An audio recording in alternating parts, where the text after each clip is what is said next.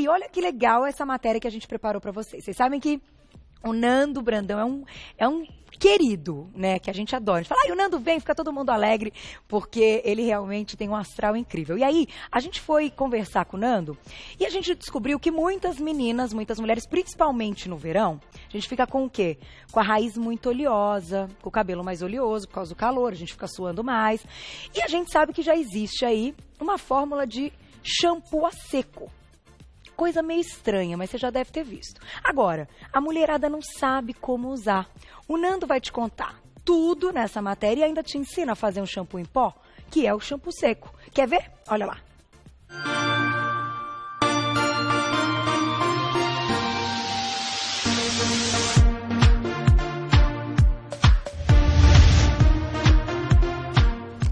Olá galera do Você Bonita, estou aqui para mais uma grande dica.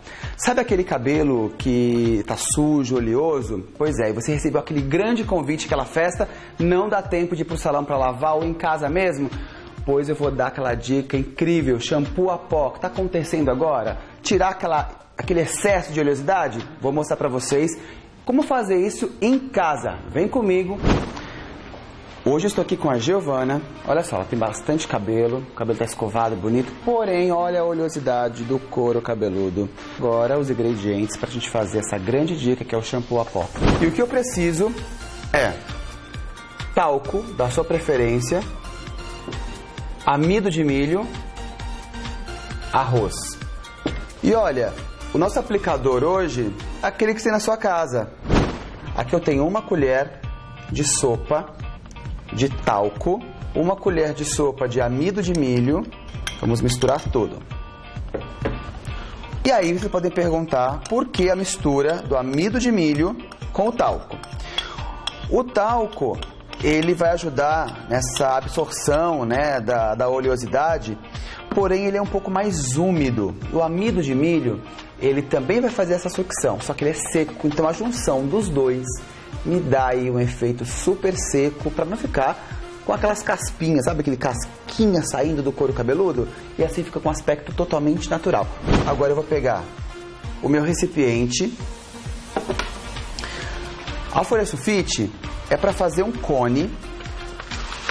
Olha só, dobro ela no meio. Vou fazer um cone, ela vai ser o meu funil. Ah. E vamos colocar um pouquinho de arroz dentro do recipiente. E agora, nossa misturinha.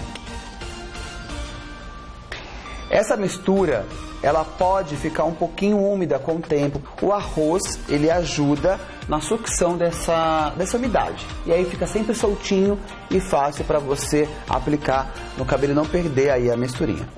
Aqui está a nosso shampoozinho mágico. E aí como aplicar? Divide no meio, onde está a oleosidade, olha, e aplica mesmo no couro cabeludo, olha.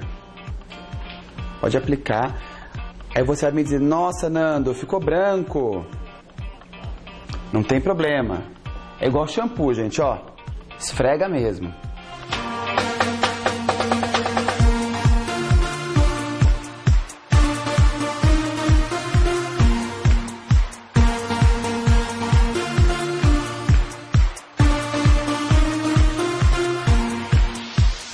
Lembra aquela oleosidade que estava? Deu volume na raiz, que estava pesada de tanta oleosidade que nós tínhamos aqui. E agora, olha, sumiu todo aquele branquinho, cabelo natural de novo. E é só aproveitar aquela escova,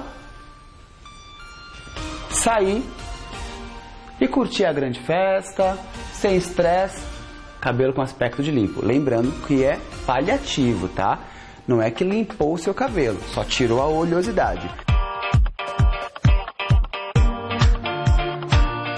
Espero que vocês tenham gostado dessa grande dica. Mulherada, um grande beijo e ó, não deixe de ser à noite por conta de um cabelo sujo. Shampoo em, em casa.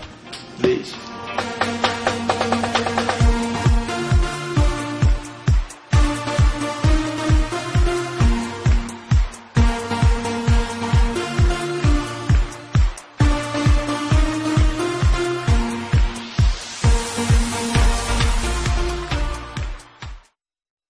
Grande, Nando. Adorei Tá vendo? É porque as, as coisas vêm pro mercado e a gente não sabe usar. Vamos combinar? Você fala, pô, até queria comprar, achei legal esse negócio aí e tal.